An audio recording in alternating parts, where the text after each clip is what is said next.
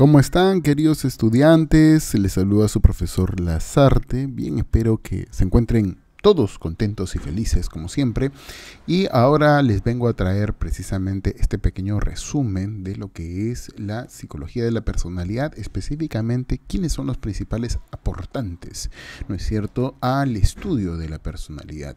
Espero que este pequeño resumen les ayude mucho para poder, obviamente, seguir aprendiendo sobre este tema tan interesante que nos involucra a todos nosotros. Bien, ¿quiénes son entonces los que han contribuido al análisis de la personalidad? Bueno, acá usted ustedes pueden ver una serie de imágenes, quizás reconozcan algunos más que a otros, pero yo les cuento, el señor que está por aquí es uno de los principales representantes de la personalidad, que es Sigmund Freud, de allí sigue Carl Jung, Alfred Adler, Karen Horney, Eric Erickson, Raymond Becatel, eh, Robert McCrae, David Costa, ¿no es cierto? Ahorita vamos a ver quiénes son, qué, qué aportaron específicamente.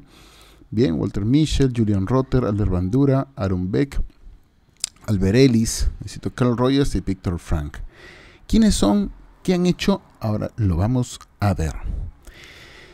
Sigmund Freud, bueno, ¿quién no lo conoce? ¿No es cierto? Sigmund Freud, padre del psicoanálisis, él desarrolló precisamente su teoría en base al famoso inconsciente, ¿de acuerdo? Él plantearía, ¿cierto? Que existe pues inconsciente, preconsciente y consciente, que nosotros somos o nos comportamos según eh, la dinámica que se mantiene entre estas partes, ¿no es cierto? Asimismo, asimismo desarrolló pues estas instancias de nuestro ser llamados el yo, el ello y el super yo.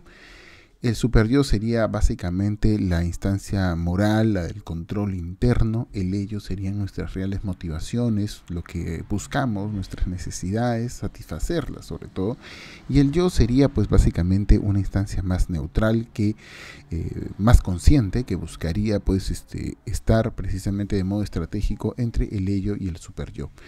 Claramente para Freud, eh, digamos, la parte más protagónica sería el ello, ¿no? quien representa nuestras reales necesidades. Bien, em, Freud también desarrolló pues, los famosos eh, conceptos de mecanismo de defensa, ¿no? que serían, pues, digamos, las herramientas de las cuales se valdría el yo para poner un poco alto freno a lo que era nuestro inconsciente, ¿no? las necesidades del ello. Tal es así, pues, que habría desarrollado términos como la represión, el acto fallido, la racionalización, entre muchos otros que han prevalecido en el tiempo. Ahora, este método, de hecho, fue muy disruptivo, muy eh, distinto a lo que se hacía en la fecha, revolucionario, sobre todo estamos hablando de principios de 1900, donde, digamos, tuvo su mayor eh, apogeo. No obstante, una de las cosas que en general le, van a reprochar, ¿no es cierto?, en la actualidad al enfoque psicoanalítico es su distanciamiento con el método científico, ¿no? Muchos de los aportes, ¿no es cierto?, de la teoría y de las etapas de desarrollo psicosexual eh, de Freud, precisamente, que plantearía, tienen esta, esta particular desventaja, ¿no es cierto?, que no son necesariamente comprobables a través del método científico, ¿no? Pero, sin duda, eh, sus principales defensores dirán que el la teoría desarrollada permitió visibilizar muchas cosas que no son necesariamente comprobables, no, no todo se tiene por qué comprobar. Em, sin embargo, sin embargo, hay que ser consciente, ¿no es cierto?, que, que, el abordaje y la, digamos, la dinámica actual, ¿no?, sobre las cuales nosotros este, nos desarrollamos, sí requieren, desde al menos desde la psicología, un, un apego con el método científico. No por eso el psicoanálisis ha dejado de ser importante y sobre todo interesante. Bien, uno de los que eh, también estuvo muy cercano a Freud finalmente para el desarrollo de su teoría fue pues este, el señor Carl Jung. ¿no? Carl Jung es más, ¿no es cierto? Estaba previsto para que fuera, eh, digamos, el sucesor de Freud. ¿no? Sin embargo, eh, tuvieron pues diferencias en el, en el modelo finalmente que estaban planteando y este, se separaron. Se separaron, de allí fue que Carl Jung desarrollaría su eh, teoría neopsicoanalítica. ¿no? ¿Y cuál es una de las diferencias principales entre el modelo de Freud versus el modelo de Carl Jung? Bueno, Carl Jung eh, contemplaba pues la presencia de un inconsciente colectivo, ¿no? que en general sería, digamos, eh, sustentado por aquellos elementos que serían comunes a, un entorno social, ¿no? Algunos, este, algunas ideas, ¿no es cierto?, que se trasladarían de generación en generación. Eh, y que moldearía nuestra personalidad, digamos, eh, grupal o colectiva. Eh, estos elementos, Carl Jung los llamaría arquetipos, ¿de acuerdo? Nuestra forma de ver a los hombres, nuestra forma de ver a las mujeres, quizás elementos comunes que todos percibimos en la realidad. del mismo modo que con el caso de Freud, tenemos dificultades para poder comprobar si es que estas propuestas son ciertas en los hechos. Bien, otra mm, digamos, otro de los representantes que también dieron mucho valor a lo que era el inconsciente y la forma como esto esculpía nuestra personalidad fue Alfred Adler. Él eh, fue quien desarrolló el concepto de complejo de inferioridad. Esto em, sustentado en que los seres humanos pues nacíamos eh, con un sentimiento de inferioridad. ¿no? A diferencia de otras especies, nosotros no nos podemos valer por nosotros mismos. ¿no? Necesitamos que alguien nos ayude, necesitamos que alguien pues, nos, eh, nos brinde soporte, alimento, vestimenta, etcétera, etcétera. ¿no? Si no, estamos prácticamente condenados a, morir. Entonces, lo que plantearía eh, Adler sería que eso nos genera a nosotros un sentimiento de inferioridad frente a quien nos cuida, frente a quien nos protege, ¿no? Eh, somos, estamos un poco anclados, supeditados a lo que él finalmente haga, ¿no? Y esto se puede, eh, digamos, agravar en el tiempo si es que nosotros no desarrollamos, eh, digamos, técnicas o estrategias de afronte y de superación personal, ¿no? Podemos sentirnos a la larga como que, de verdad, este, todo el mundo es digamos, más poderoso que nosotros. Eh, desde ese punto de vista, Adler sostendría mm, luego eh, de que eh, nosotros buscamos desarrollar precisamente una serie de habilidades para alcanzar nuestros objetivos y buscaríamos más bien la excelencia, la perfección en nuestras cosas. A esto, a esta serie de, digamos, de estrategias, de formas, de métodos para poder comportarnos, se lo llamaría pues el estilo de vida. Entonces nosotros desarrollamos un estilo de vida que nos permite lograr los objetivos que queremos y así abandonar el sentimiento de inferioridad, que si no lo hiciéramos se transformaría pues en este famoso eh, complejo de inferioridad. Bien, por otro lado llegaría Karen Horney, también parte del enfoque psicoanalítico, solamente de estas nuevas variantes, ¿no? y hablaría de un modo similar, digamos, al de Adler, que nosotros en realidad lo que buscamos es ganar seguridad. ¿No es cierto? Porque parte de lo mismo, nosotros no empezamos, digamos, eh, en 100% operatividad, ¿no? sino todo lo contrario.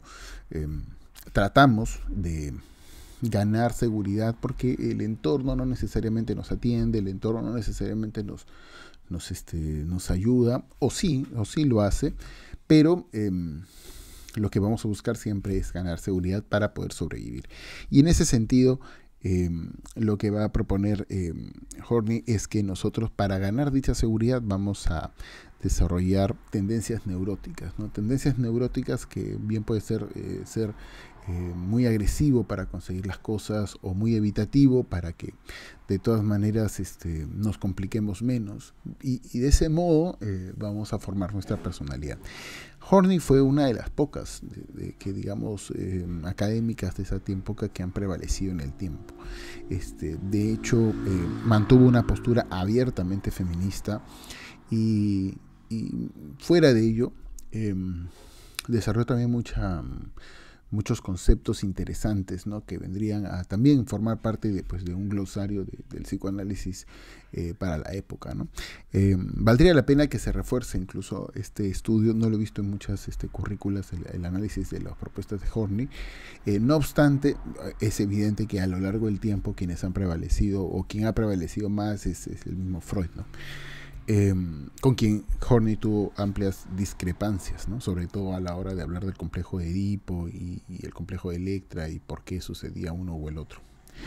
Em, hablando ya de Erickson, quien sería pues el siguiente eh, representante que vamos a analizar, él plantearía eh, una lectura distinta, digamos, ¿no? Él diría que nosotros tenemos para el desarrollo de nuestra personalidad que enfrentar eh, el cambio. Enfrentamos el cambio eh, ya sea por eh, de índole mm, biológica, ¿no es cierto?, o de índole social.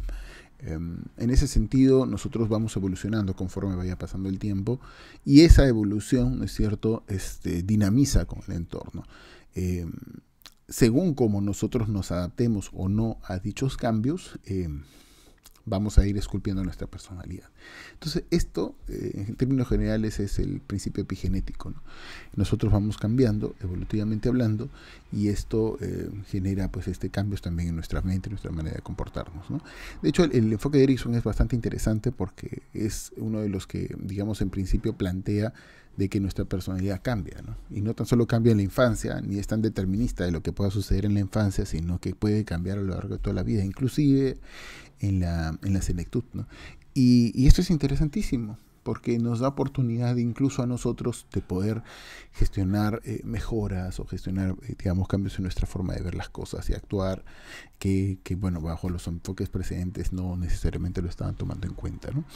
Así como este, todos los enfoques, digamos, psicodinámicos, eh, estos, digamos, también tienen dificultades para poder comprobarse en los hechos, ¿no? Son interesantes en, el discurso, pero, digamos, tienen dificultad para poder eh, pasar a un método científico, encontrar papers que nos ayuden a poder validar la, eficacia de, estos modelos de intervención. Luego de ello vendría Robert Cattell, Robert Cattell, perdón, Raymond B. Cattell, y él eh, trabajaría desde la lectura del enfoque de los rasgos. ¿no? La teoría de los rasgos eh, habla de, digamos, de características relativamente estables en el tiempo de nuestra forma de pensar, sentir y actuar. Em, la base principal de este enfoque es que dichos rasgos em, eh, serían relativamente estables y que vendrían, digamos, este, desde el lado más biológico, ¿no? más corporal, más genético de nuestro ser. Entonces, a la hora de explicar por qué somos como somos, mm, el enfoque de los rasgos más que todo recurre al, aspecto de, la, de, la, herencia que hemos recibido nosotros, nuestros antepasados.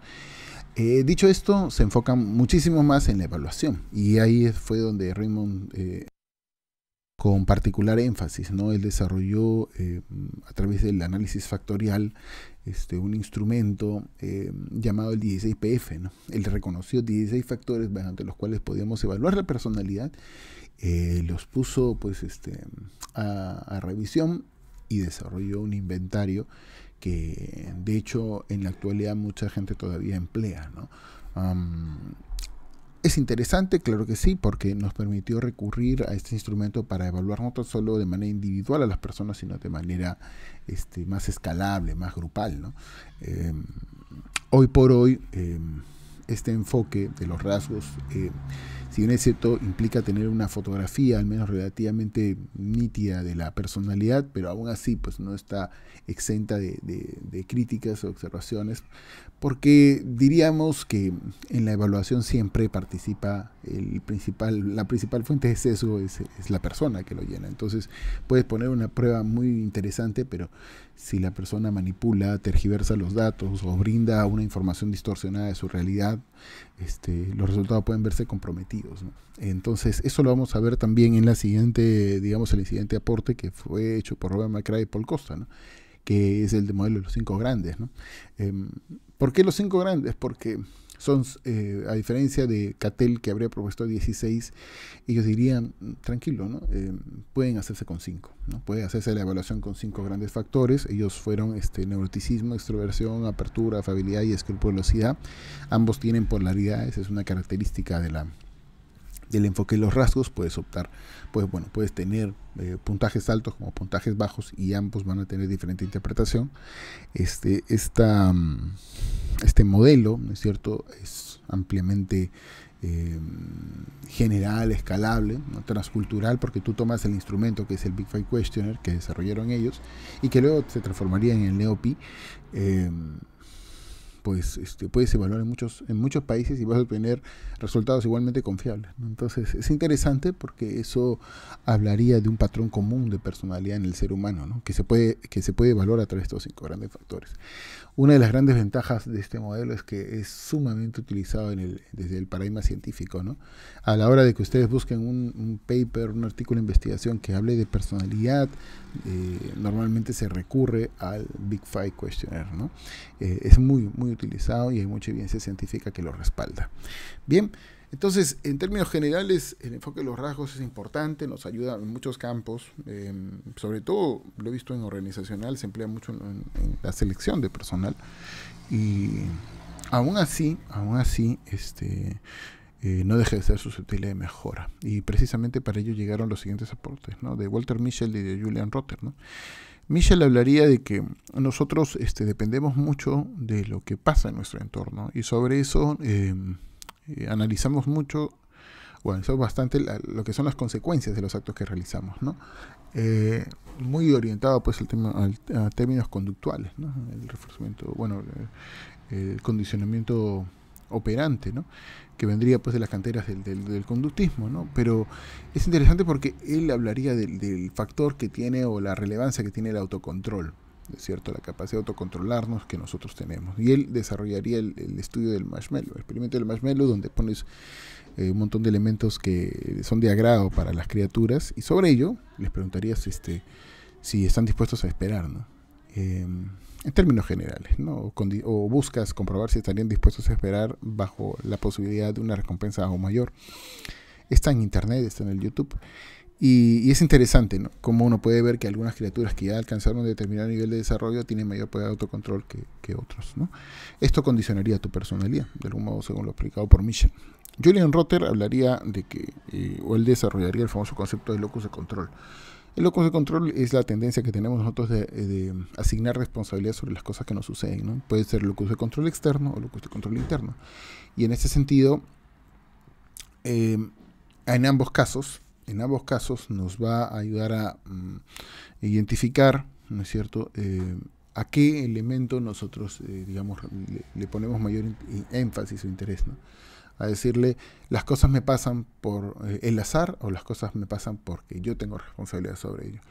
Este, esto, este elemento debería esculpir la personalidad según Julian Rotter, ¿no? y es empleado bastante en, la actualidad para diferenciar, digamos, este, una persona de la otra, ¿no? sobre todo cuando, cuando llega la hora de hacer terapia. ¿no? Es más, eh, digamos, eh, posible que puedas trabajar con, una persona que asume responsabilidades antes que otra persona que, en realidad no lo hace. ¿no?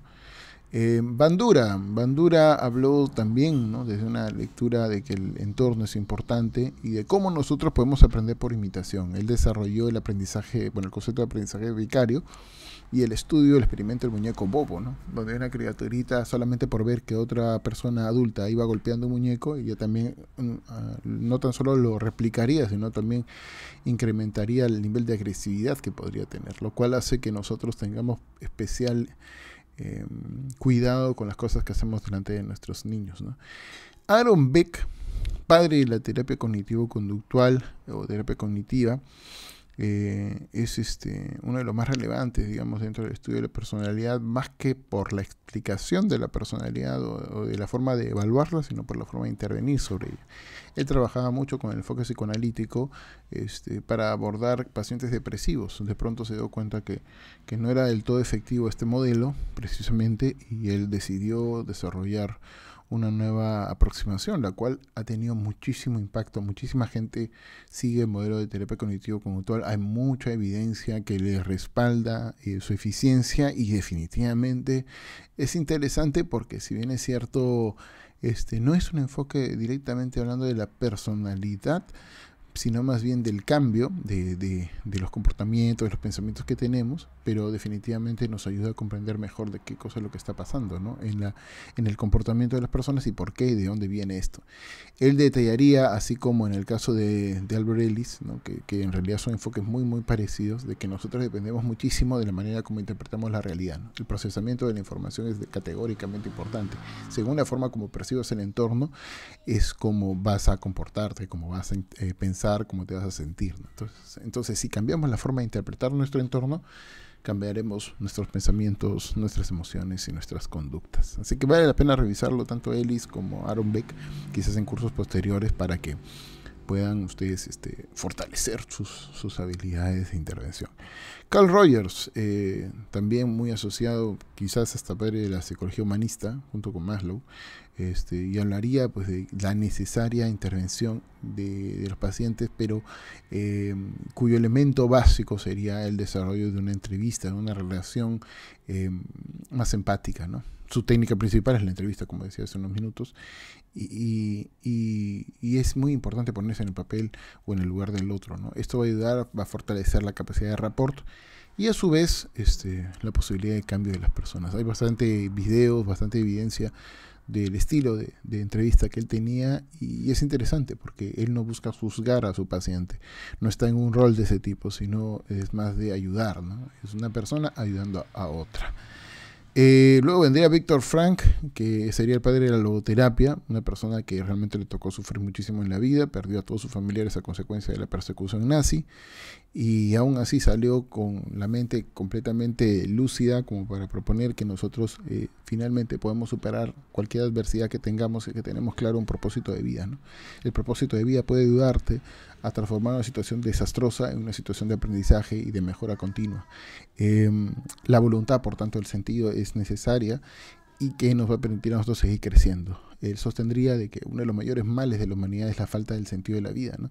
Por eso es que normalmente en circunstancias de, falta de alguna actividad nos sentimos aburridos, ¿no? porque no sabemos qué hacer.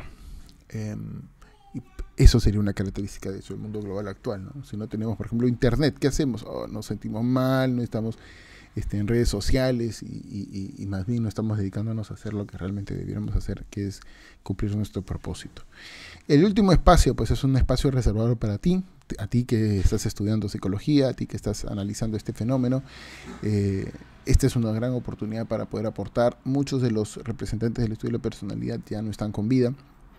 Y es precisamente esto un escenario en el cual cada estudiante, cada futuro psicólogo puede aportar y contribuir a que este, este digamos, importante espacio de, la ciencia se desarrolle y así aportar con bienestar y calidad de vida a muchas personas. ¿Qué lecciones podemos obtener? Bueno, que para evaluar la personalidad del profesional en psicología emplea el método científico, esto es, esto es sí o sí, lo que haya pasado en el pasado es historia, ¿no? Eh, pero lo que tenemos que hacer ahora es recurrir sostenidamente al método científico y este es un desafío que tenemos por lograr. Em, ¿Por qué? Porque nos va a dar confiabilidad y objetividad para poder trabajar con nuestros pacientes. Dice, para una correcta evaluación de la personalidad es necesario el empleo de técnicas cualitativas y cuantitativas.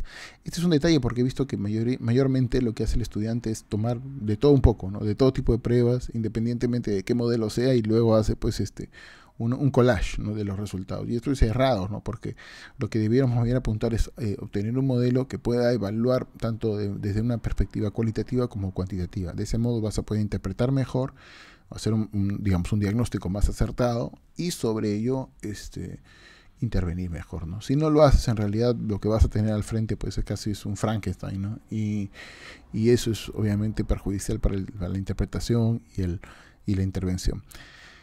Otro tema, dice, em, mm, justamente lo que estaba comentando, ¿no? Em, pues las posibilidades de, diagnóstico, ¿no? la vulnerabilidad de, mezclar las cosas, ¿no? los modelos y las pruebas, que eso es algo que no tenemos que hacer.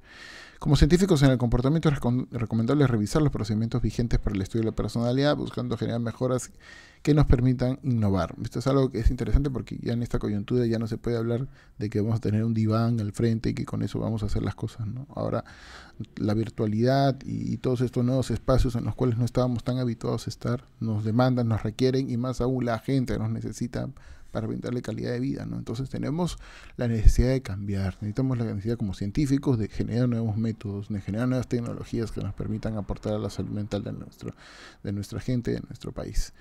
Bien, entonces es un desafío que para todos es este, el mismo, así que se lo voy planteando. Consultas, si tienen consultas, por favor, las realizan a través de el canal, las realizan a través del, del, chat o en este caso de los mensajes. Yo estaré gustoso de poder escucharlas, leerlas, identificarlas y sobre todo poder responderlas para más adelante. Muchas gracias a todos, cuídense mucho, hagan sus tareas y pórtense bien porque ya saben que Diosito los está mirando. Hasta pronto.